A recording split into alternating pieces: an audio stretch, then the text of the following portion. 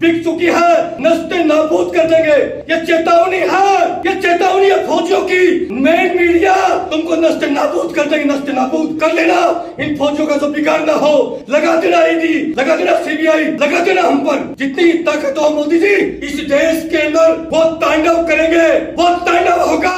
कि आपका अंदेशा नहीं होगा। सत्तर लाख सैनिकों ने बेल्ट कस लिया है। बेल्ट कस लिया है। हिंदू, मुस्लिम हिंदू, मुस्लिम करके इस देश को तोड़ा जा रहा है। इस देश को टूटने नहीं देंगे। सौगंध खा के आए हैं। तुम्हारे बाप को भी करनी पड़ेगी। अन्यथा खाली करना पड़ेगा, सिंहासन। जनता आ चुकी है। हिसाब किताब बराबर होगा बेटा। रोक सको तो रोक लेना।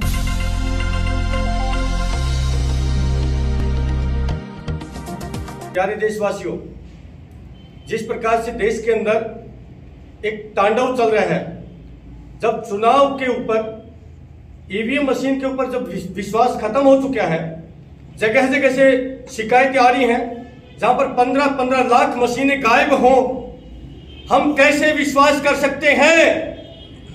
हम कैसे विश्वास कर सकते हैं, इलेक्शन महोदय? हम पाँच सीटों पर चुनाव लड़ रहे हैं।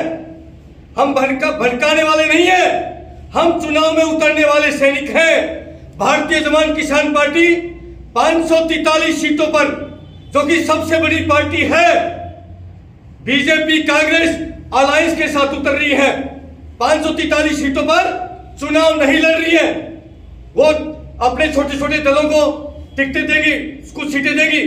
लेकिन भारतीय जवान किसान पार्टी पाँच सीटों पर सबसे बड़ी पार्टी बन के उभर रही है। हम एक प्रतिशत भी ईवीएम मशीन पर विश्वास नहीं रखते हैं।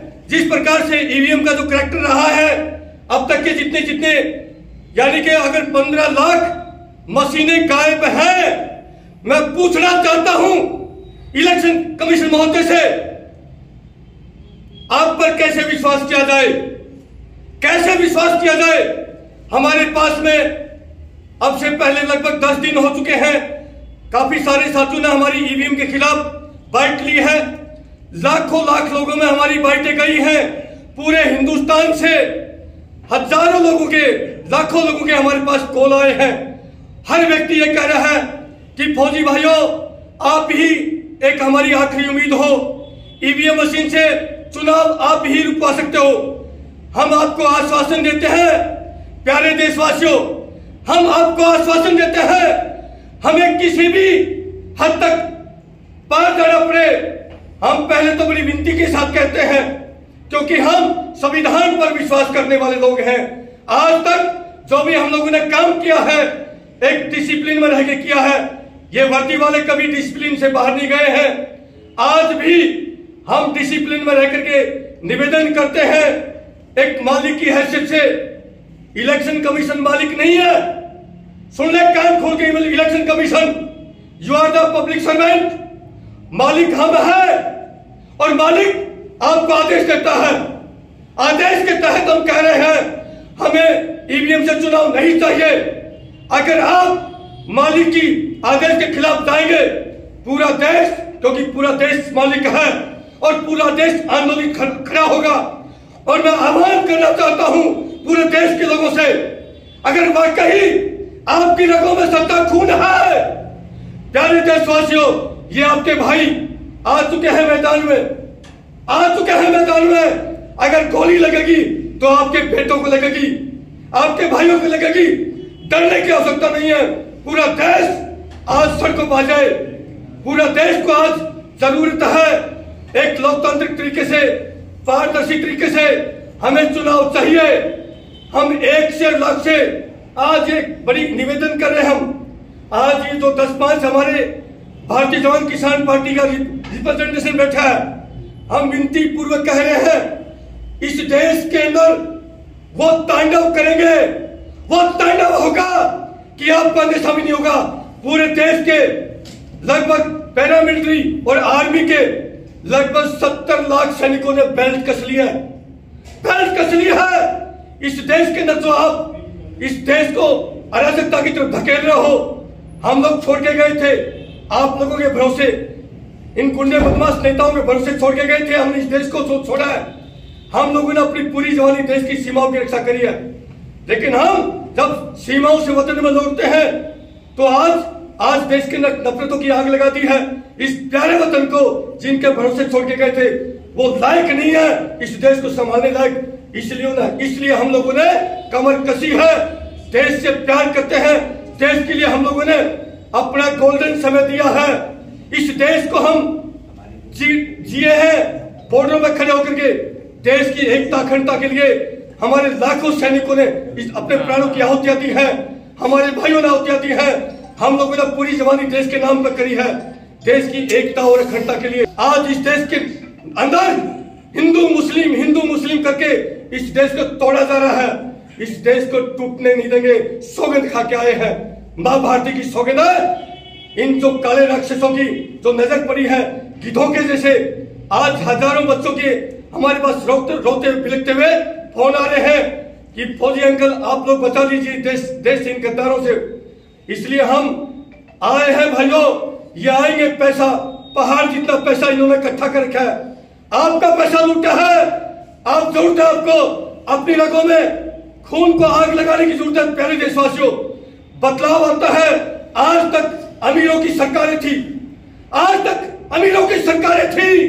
पहली बार गरीब का, किसान का, मजदूर का बेटा आपका बेटा आया है। देश के बेटे आए हैं।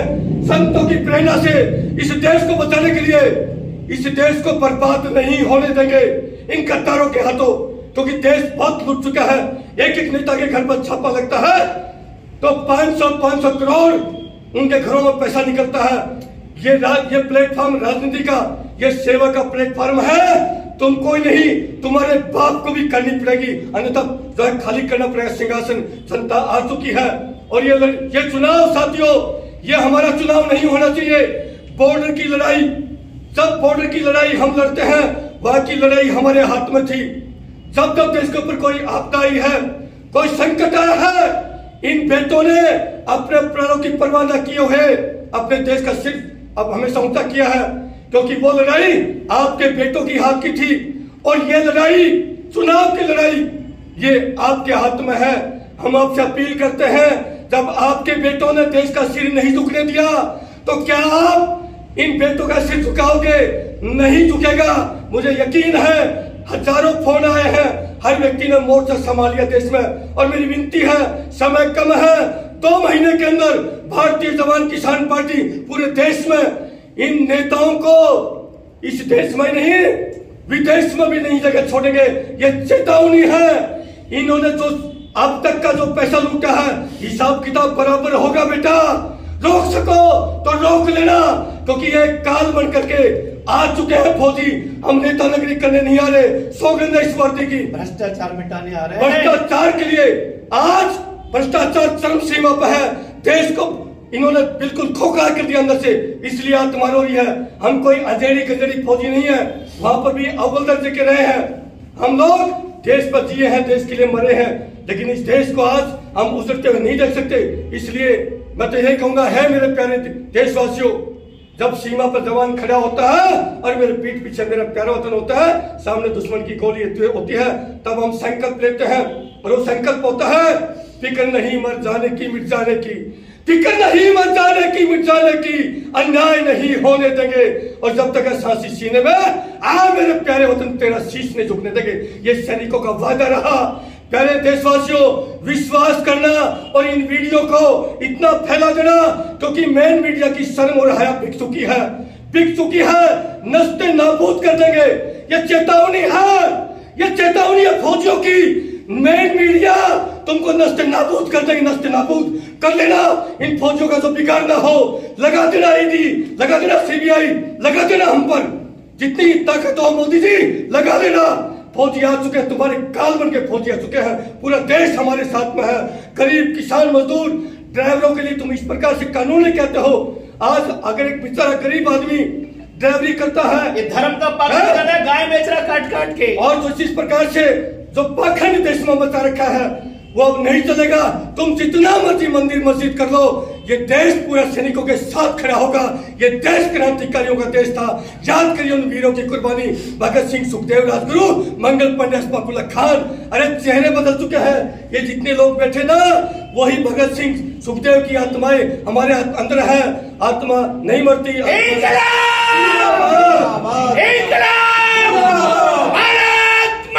की इसलिए साथियों, सौगंध आपको इस माँ भारती की, सौगंध इस देश की, ये फौजी आपके बेटे आए हैं।